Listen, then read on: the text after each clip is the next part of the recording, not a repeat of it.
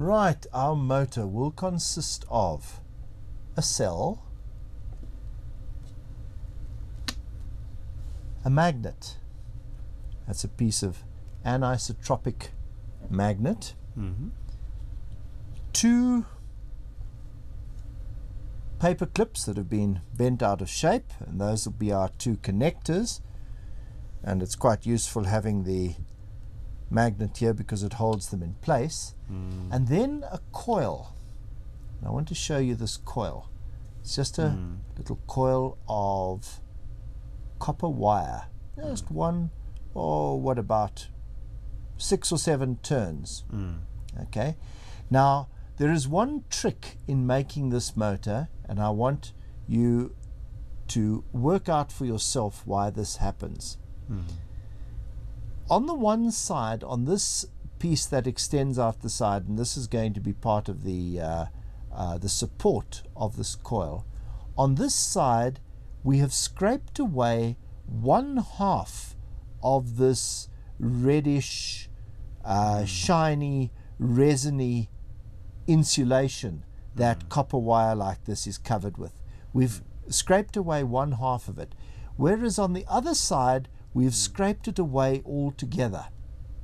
Okay?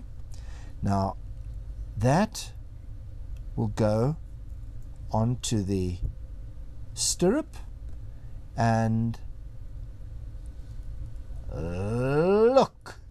Just needed a slight We lift. just just gave it a little bit of persuasion and there we go, whizzing around at a rate of knots. Mm. That is the principle of the electric motor. Now, I don't think that we should spend too much time Time. explaining to the good people out there. Mm. They need to go away and explain it themselves. Yeah. There we go. Still going like a whirling dervish. Okay, isn't that wonderful? Lovely. Just remember lovely, lovely. The one support, you scrape the insulation away completely. Mm. On the other side, you only scrape away one half Mm. of the insulation, and that's, say, the bottom half Mm. you would scrape away. And there it's going. Now, clearly, what is happening, and we'll tell you this much, is a current. There's the cell. So there must be a current Mm.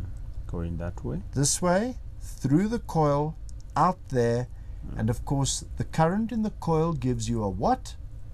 That is going to interact with The magnetic. the magnet. yeah, there's the magnetic field interacting with the magnet. Yeah.